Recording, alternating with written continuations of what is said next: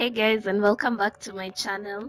Today I'm showing you how to create a poster with canva.com.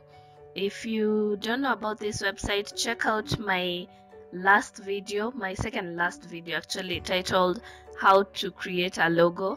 I covered some of the basics of Canva on that video which I may not cover again on this so watch that it's a continuation of the same. Uh, so today I'm going to show you how to create a poster and I'll just go straight to that. I hope you had a chance to explore all the designs you can create with Canva in that week. If you haven't, it's okay, you still got time. Go explore, check out the designs, check out what you can create. It's going to be fun. So my layouts are on the left, as you can see. My designs, the ones I can choose from. And as I mentioned last week, uh, always check the design at the bottom right corner. You have this sign. It's either a dollar sign or it's a free mini free banner on the bottom right. If it has a dollar sign it means you can edit that design but you cannot download it without paying for it. If it has a free banner it means you can edit and download for free.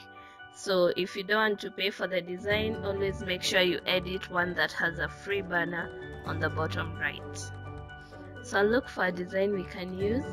Let's see. And don't get tired of scrolling to the bottom. There are lots of really cool designs in here. So explore explore explore. And if you're looking for something with an image background like this you can always tell if it's an image background or a color background. Something like this uh, the ones with the color backgrounds means you can't change that for an image. Or rather the design works well if it's not an image background because they've already given you a color background which you can play around with. Uh, but if you want an image background also always make sure to pick one with an image background like this. You can work with this. So I'll take this with an image background then I'll use my own image again if you want to upload an image to canva you just click upload then upload your own image. Click this button right here. But i already have the image i'm going to use so i'll just drag and drop it to my design. I think i've clicked on this accidentally yeah. You just close this. So i'll just drag and drop my image and it will pick in the background okay so the image is has picked up. Then you can double click on the image to reposition it if you want to focus on a specific part of the image or the poster. Just double click on it then you can drag to reposition depending on what you want to highlight. Then just click the tick right here okay? Once the image is well positioned then I'll show you a few things you can do with the image. First you can add a filter to the image. So make sure you've selected the image then click filters. There are usual normal uh, filters like you have on your phone. If you take an image you know the normal selfie slash normal photo filters is what Canva has as well okay so here we go. These are some of the filters you can use. Just click on any see how it works with your poster. If you like it you can try them all one by one.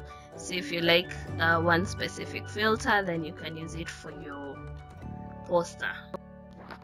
I won't be using mine with a filter so I'll show you some of the other things you can also do. You can increase or decrease the brightness of the image for example, if you want the text to stand out a bit more than the image, you can reduce on the brightness, as you can see, so that it stands out a bit more. The contrast, you can play around with that, see what that does.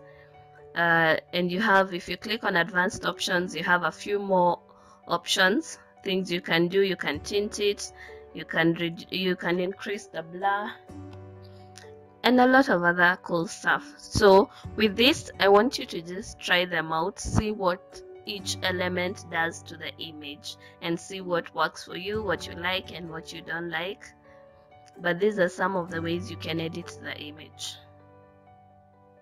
So try them out see how well they work for you and see what each of them does. Now you can also crop your image. I will not be doing that because mine fits yeah just right so I won't be cropping it. But you can also crop your image. You can flip it. Show you how that looks like. See if you want it to face the other side or upside down. You can flip your image depending on where you want it to face. So there's also spacing which is basically just spacing it from spacing your image from the margin uh, this is what that looks like. Let me just show you. There we go. So you can space it from the margin.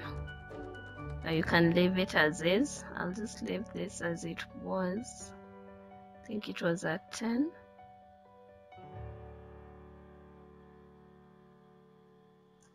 yeah that should be good. So those are some of the things you can do with your image. Now we'll move to the text. I'll just edit this I had shown you what you can do with the text the various ways you can edit the text. So I won't dwell on that too much on this video. If you haven't checked it out again check out my video on how to create a logo. It has those basic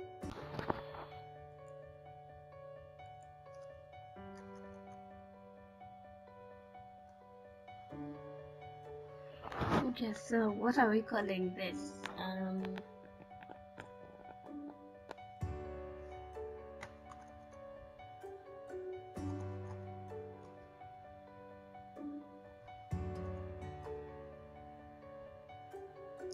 it is the season after all so hit me up for some deals deals deals.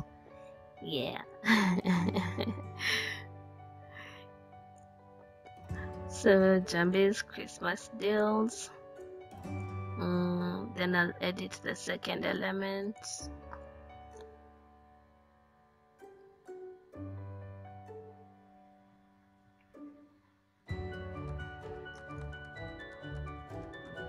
Hmm. main and hosting.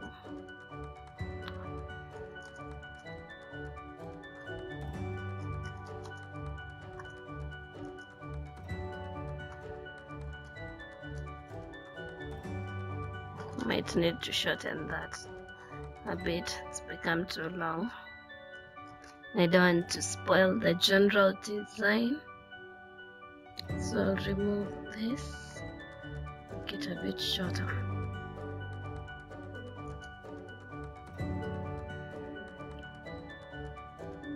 and you can stretch this to have the text fit on one line.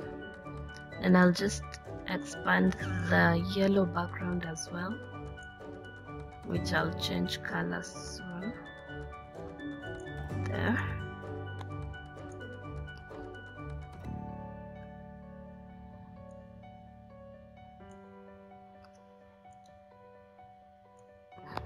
mm, just put a contact here.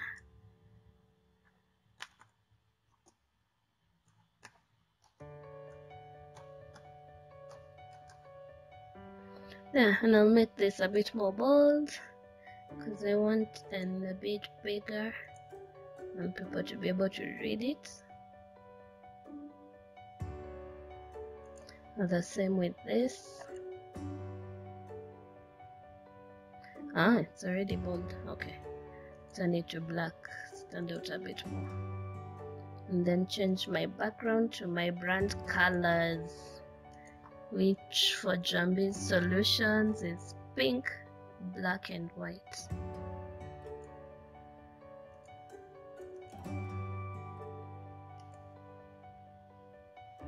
Change this to pink. Just input the color code because I know what it is. Alright, so it's already starting to come to life but the hmm, then if the text is clear enough. The white is kind of disappearing in the background so we might need to do something about that. But before we do let me put my logo and this is what I meant by branding your designs I want to put my logo use this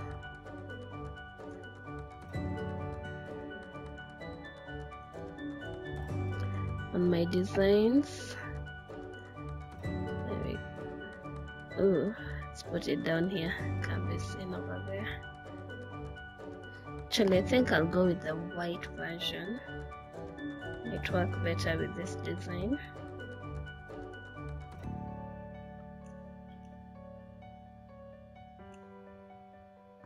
There we go. And you can use the arrow keys to move uh, the objects you can also use the normal shortcuts, for example, Control Z to undo and so on.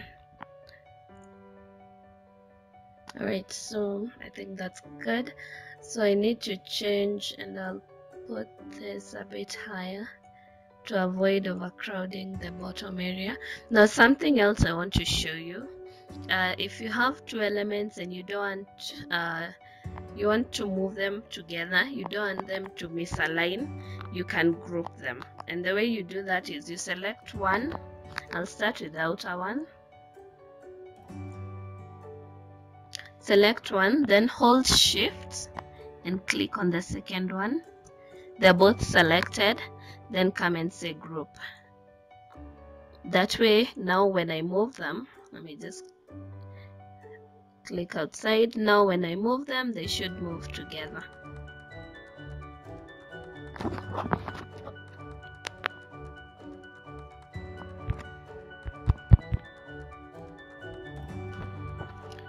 So we'll just move them a bit higher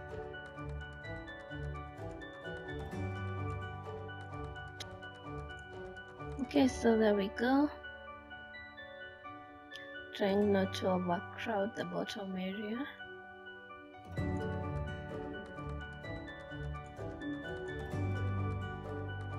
Make this a bit bigger.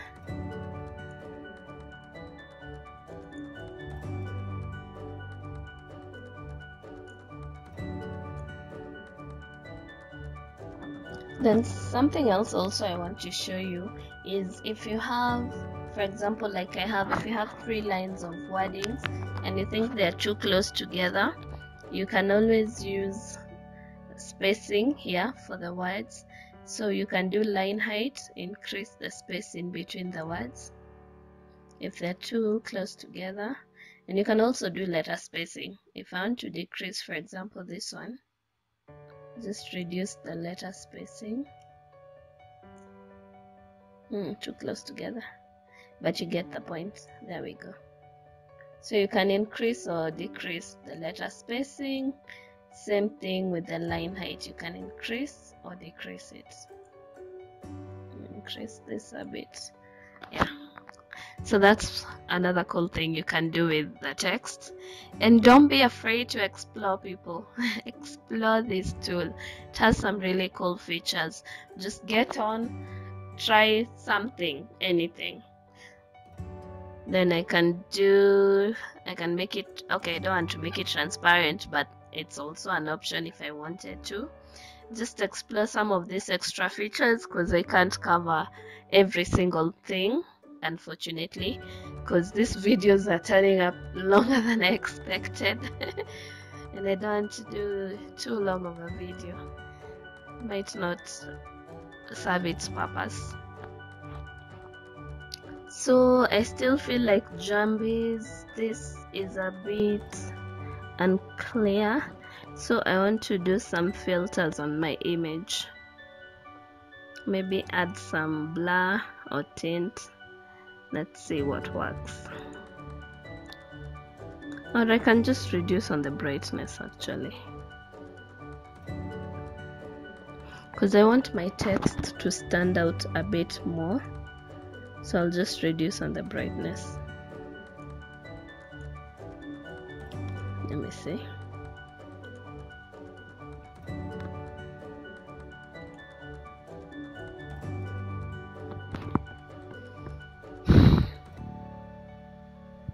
yeah I think that's better. Yeah that's a bit better. So there I do have my poster. I've done a simple one but the concept is all the same. Uh, editing, playing around with the with the text with the images and the colors.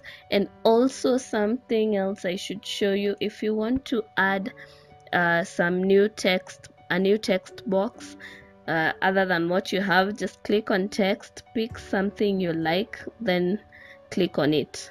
It will appear on your image or just drag and drop. Then if you go to the very bottom of these text options there are some cool hmm, what do I call them? Text designs. Let's just say here we are. Some colored stuff some cool text designs if you want to use them for your promos. I'm sure you can find a way to use them something like this. So if you scroll that you'll find some cool texts at the bottom.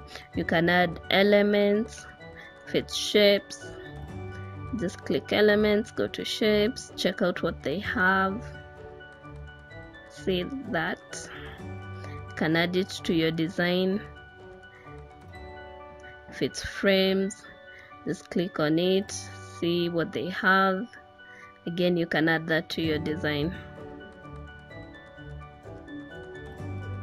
So I think I've